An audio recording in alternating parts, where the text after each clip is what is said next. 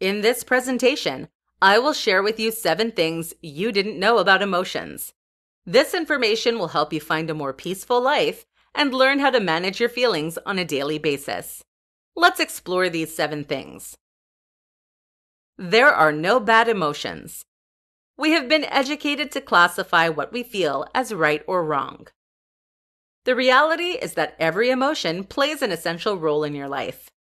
We confuse destructive or bad attitudes with the emotions we experience. However, if you block a feeling you don't want to experience, you will be stuck in the same place for a long time. You can learn to observe emotions. You don't have to judge your emotions. When you feel a feeling rising, you can simply observe it. You can do so by taking several conscious breaths in and out. Observe your breath at least three times. Then observe the emotions and thoughts that go through your mind. Accept them as they are. You cannot avoid them, they are there. Finally, as soon as an emotion tends to overwhelm you, try to go back to what started it, then to your breath. There are only two emotions. Love and fear govern everything we experience.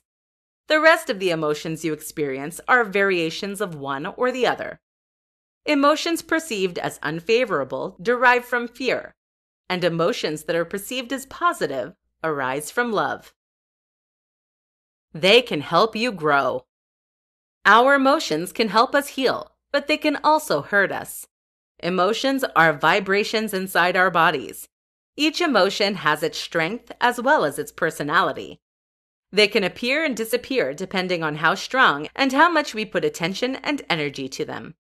If we take the time to explore the emotion, we can learn a lot about us and discover what aspect of us needs to heal. You don't have always to embody the emotion.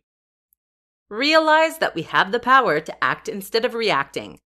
The verb to act is defined as to enter the scene, to come into play. It comes from oneself we put ourselves into action. The verb to react is defined as presenting a modification in response to the action of an external agent, which means we're responding to someone or something that we don't have control over. When we experience emotions, we can choose not to react to the emotion, mainly if others trigger it, and experience it in a healthy way. Act. The expression of an emotion is normally 90 seconds. An emotion is a physiological reaction, not a psychological reaction.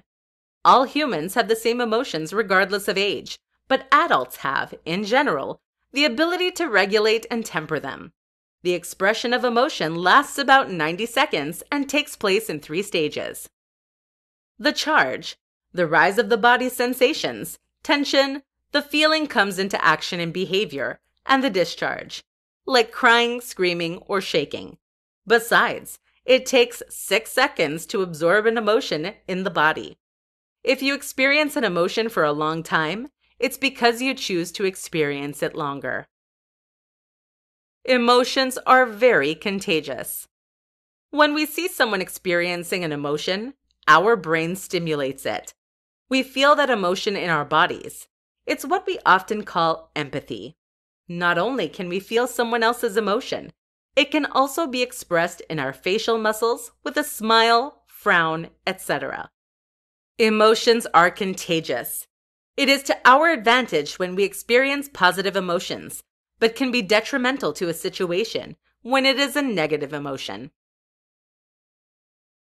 For more free educational content, visit learnforfree.biz. Content produced and distributed by AllSuperInfo.